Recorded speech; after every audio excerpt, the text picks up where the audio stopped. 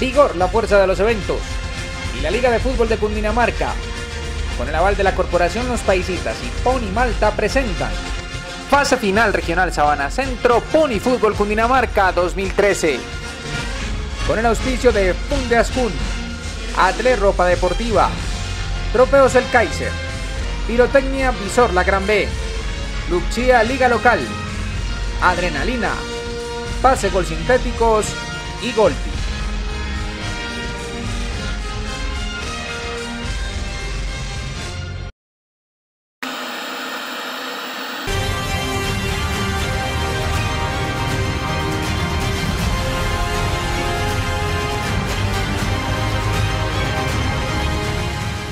Esta ya la vi. Es la historia de alguien pequeño que se hace grande. Igual que siento un dálmata. Ahí nadie es menospreciado. Menosprecian a los perros.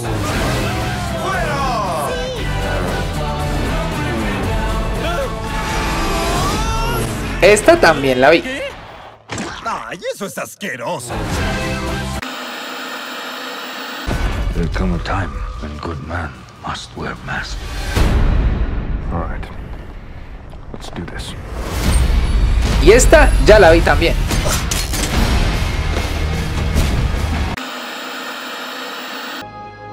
Me parece que estamos volviendo al futuro. Bienvenidos a la fase final Sabana Centro del Pony Fútbol Cundinamarca. Subámonos a la máquina del tiempo y recordemos qué pasó en la eliminatoria jugada aquí mismo hace pocos meses.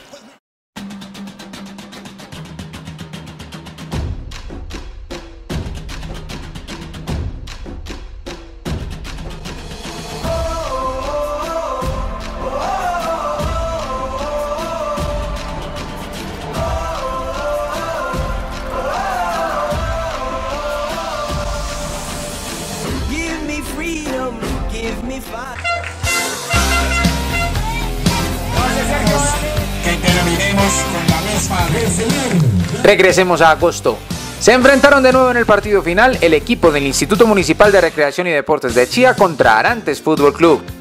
Otra vez, los dos mejores del municipio buscando un título, pero en esta ocasión, el de toda la Sabana Centro, donde se tuvieron que enfrentar a los equipos de Cajicá, Sopó, Zipaquirá, Cogua, Gachancipá, Cota, Tengo y Tocancipá.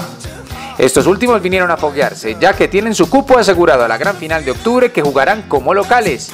Pero los demás se jugaron el todo buscando un lugar de los siete posibles que había para jugar en la gran cita que definirá al único cundinamarqués para ir a Medellín en enero. Más de 10.000 personas se hicieron presentes en los 53 partidos que se jugaron durante nueve días de competencia en el estadio de la Unidad Deportiva Villa Olímpica de la Ciudad de la Luna, acompañando a sus niños. Ellos ya habían jugado un partido y el instituto le ganó a Arantes y quedaron campeones en la primera ronda. Dijo un saludo, que Dios te bendiga y ojalá ganen. Yo vine a disputar el tercer y cuarto lugar, quedamos de terceros, eh, pero pues feliz, contenta. Bueno, y aquí en esta final le estás haciendo barra especialmente a alguien. Al instituto, me gusta cómo juega Silvio, me, me parece un muy buen jugador y eh, en general todos los niños son muy buenos, pero pues es bueno apoyarlos a todos.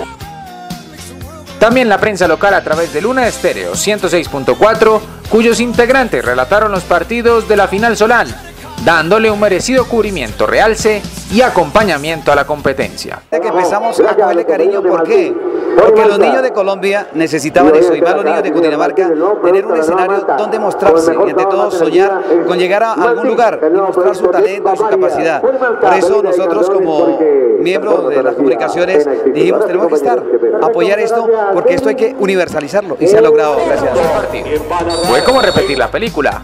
Un cotejo muy disputado con oportunidades de lado y lado en los arcos del IMRD como el de Arantes. Y aunque en aquel enfrentamiento hubo varios goles,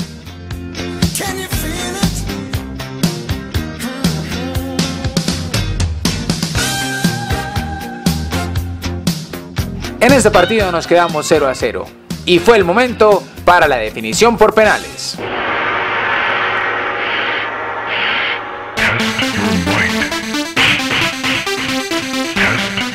La escogencia de los encargados de cobrar, la tensión en la tribuna con las madres orando o comiéndose las uñas ellas, o los familiares de los futbolistas, fueron un marco espectacular para tal evento. El primero en la tanda fue Arantes con Sebastián Carrión. 1 a 0 para los azules que buscaban su revancha y lograr el título ante su tradicional rival. El turno fue para Brian García que buscaba el empate y bajo el arco estaba Javier Camargo, el buen golero de Arantes que en esta ocasión, y como se ve claramente, se adelantó para atajar el penal. Los jueces aciertan en hacer que el cobro se repita. Vuelve Brian y anota el empate, 1 a 1. Juan Camilo Savera y el segundo penal de la serie para Arantes. Cobro y adentro. Esteban Bueno procuró el empate. Pateó e igualó la serie a dos tantos por bando. José García tenía la responsabilidad de mantener adelante a su equipo. Y cumplió. 3 a 2 para Arantes en los penales. Esteban Valencia también tenía el peso de cumplirle a su conjunto anotando para empatar. Y lo hizo. 3 a 3 la serie. Edwin Monroy va al cobro. Al frente está Jefferson García. La serie estaba empatada. Cobra. Y gol para Arantes. 4 a 3 adelante los azules. Gerson Cano esperó pacientemente a que Javier Camargo se ubicara y se pusiera los guantes. La tensión crecía hasta que llegó el pitazo. Cobró Cano y gol para los naranjas. 4 a 4 la tanda. Ninguno se ha equivocado. Llegó el quinto. Felipe Nieto y el cobro más importante. Ninguno había errado y este era definitivo. Los nervios aumentaban ya que García también se preparaba lentamente para buscar un desenlace positivo para él y su equipo. Pitazo, cobro y ataja García. Otra vez los fantasmas que aparecen y tal vez la revancha no se produzca. La figura del equipo del IMLD se llama Silvio Murillo. Todos esperan que cumpla el trámite, anote y se repita el título como en la final de Chía parte 1. Silbatazo, cobro y ataja Camargo. El golero atajó perfecto porque solo se movió cuando Murillo cobró. Y la cosa continúa empatada. Una vida más para Arantes, Daniel Plazas y el sexto penal. Ya había pasado lo peor que era estar con un pie en el abismo. Cobró y gol. Arantes otra vez adelante y con los dos pies en la tierra. 5 a 4. Era momento para que Sergio Ruiz volviera a poner a su equipo en carrera, empatar y seguir ostentando la hegemonía del municipio en el Pony Fútbol 2013. Cobra y otra vez Camargo se adelanta antes de que el pateador envíe la pelota al arco. Obviamente hay reclamos, pero si el arquero del otro equipo fuera el que se moviera, los reclamos igual vendrían. Así que bien por los jueces de Funde Ascur.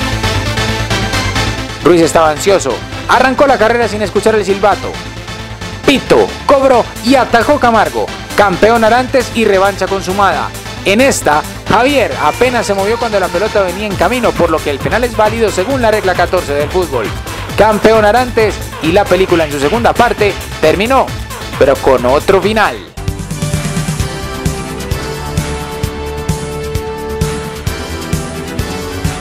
¿Qué es lo que más te gusta del arco? Eh, las tiradas, los atajes, las salidas, todo. Sí, señor, muchísimas gracias. El fútbol, lo bonito del fútbol es que nos da revanchas.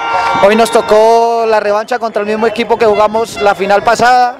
Nos ganaron por de pronto algunos problemas anímicos de los muchachos que se nos cayeron la vez pasada, pero hoy gracias a Dios los muchachos respondieron, actuaron bien, hicimos bien las cosas en la cancha y en los penaltes los habíamos trabajado y eso nos sirvió bastante. El, el desde el principio ellos tuvieron más opciones que nosotros y no, nosotros tuvimos opciones pero no, no las concluimos muy bien. Pues duele un poquito, pero ahí tenemos que seguir adelante. Muy bien. Bueno, eh, Silvio, eh, ¿cobras muchos penales o no? No tantos. ¿De pronto fue eso lo que pasó? Sí. Bueno, ¿y para Tocancipá? Vamos con toda. Llegó la premiación y con ella el momento de conocer a los clasificados a la final de Tocancipá por la Regional Sabana Centro. En el cuarto lugar, Chía Fútbol Club. En la tercera plaza, Huitaca de Chía. Como subcampeón, el IMRD de Chía. Y antes del momento cumbre conozcamos a los demás clasificados. Como quinto, mi primer balón de Sopó. La sexta casilla la logró Canelón de Cajicá. Y el séptimo y último cupo lo alcanzó la Escuela de Futsal de Cajicá. El goleador del certamen fue Dainer Saavedra, del mismo equipo. Y el arquero menos vencido David González, del Chía Fútbol Club. Como campeón y desde ya calificado como uno de los favoritos para ir a Medellín por Cundinamarca, Arantes de Chía.